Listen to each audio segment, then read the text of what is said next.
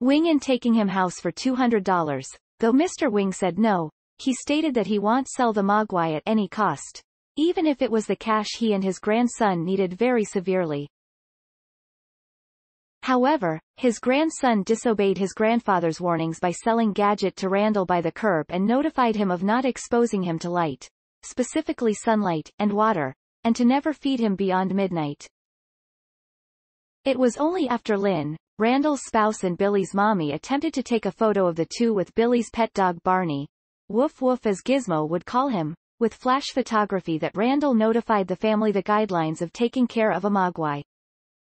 In spite of unintentionally blinding Gadget with light shown from a mirror, then Billy agreed him truly well. It ended up being clear from the first day the newly spawned Mogwais were not like Gadget in regards to character as Stripe spat at Gadget mercilessly.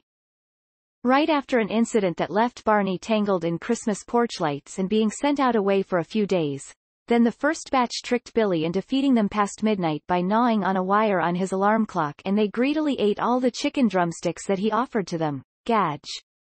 Then they discovered Stripe in the regional YMCA and they enjoyed in Scary as Stripe dived into the swimming pool, forming a big army of gremlins destroying Kingston Falls.